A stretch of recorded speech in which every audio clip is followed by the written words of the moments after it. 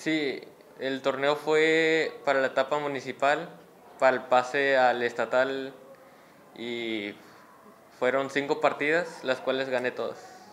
Mi entrenador, que también es mi papá, fue un gran jugador también y él me entrenó tres semanas para prepararme para este torneo. Pequeño, ya que mi, mi papá jugaba en torneos y yo lo veía y me encantó el deporte y le dije a mi papá que quería que me enseñara y aprender. Y en la, en la intersecundarias gané también ese torneo. Fue, fue un deporte que me impulsó mucho a la disciplina y a un gusto por las materias de pensar, de calcular y eso.